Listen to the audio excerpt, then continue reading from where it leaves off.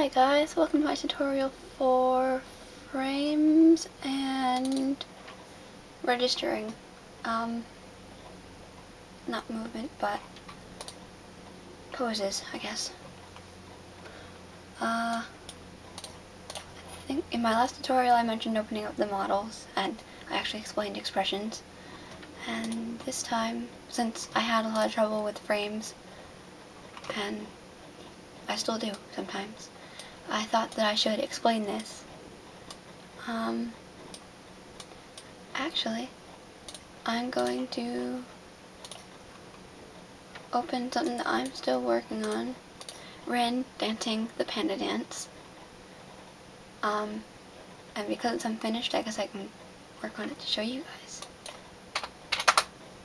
Alright, so she starts here, and then if you notice this part right here, frame manipulation, um, you can move the frames like that. And since I already have something registered, I have her movement.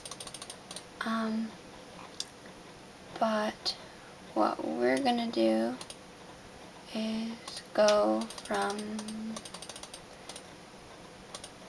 first off, 245 is where I last stopped with the frames. and I'm going to go to 255, zoom in, select all and reset. Um, I'll rotate her arms like this.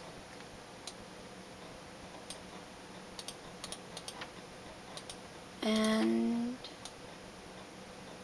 here we are. I will register that like this with this button but I recommend that you select all first.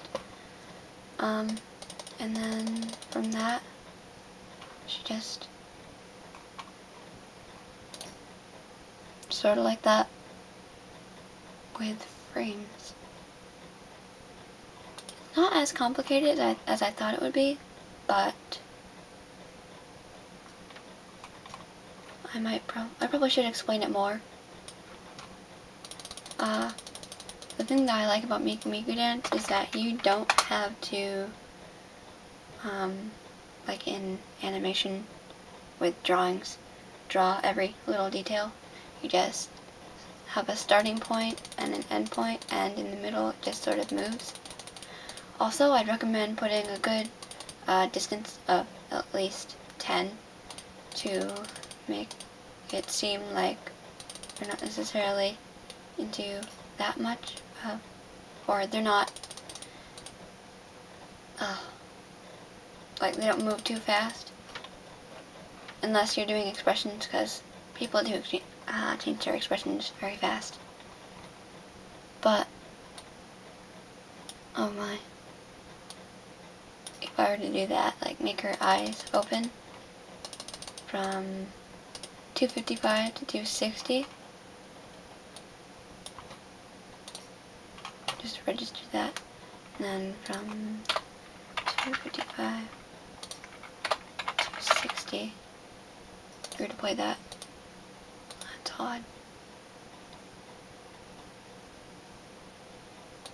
I haven't figured that out yet. Mm, that's really all I can say about frames. I'm probably going to explain movement next because that was really hard. But, yeah, that's it.